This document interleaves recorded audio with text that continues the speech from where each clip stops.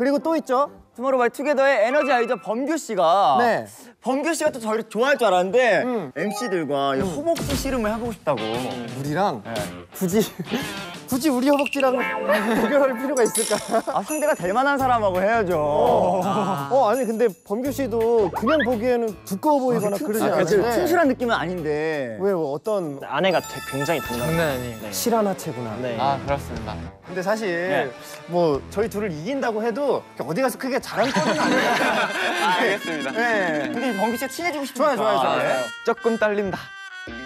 은혁이 형님의 다리가 저랑 비슷하다고 생각하시지만 요즘 진짜 운동으로 그다음에 필라테스로 다녀요. 네. 범규 씨 평소에 허벅지 운동 많이 해요? 저 안 합니다. 어, 안 하는 애들 아, 이길 수 타고난-. 잠시만요. 타고난 네. 허벅지로 광개토 대왕을 발라버리겠다고. 어 뭔가 긴장돼. 긴장돼요?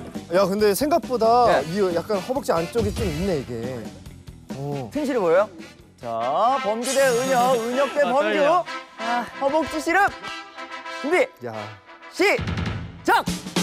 잠깐만 작! 잠깐만 야 잠깐만 야 작!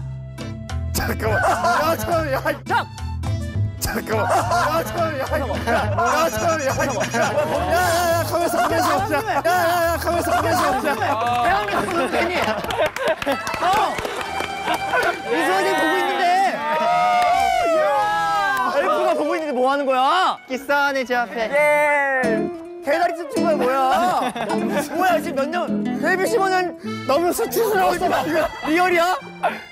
아 근데 아 진짜로 어, 이 힘이 조금 달라요 확실히 아, 이게 약간 안에 꽉 차 있는 그 힘이 땅하구나. 야.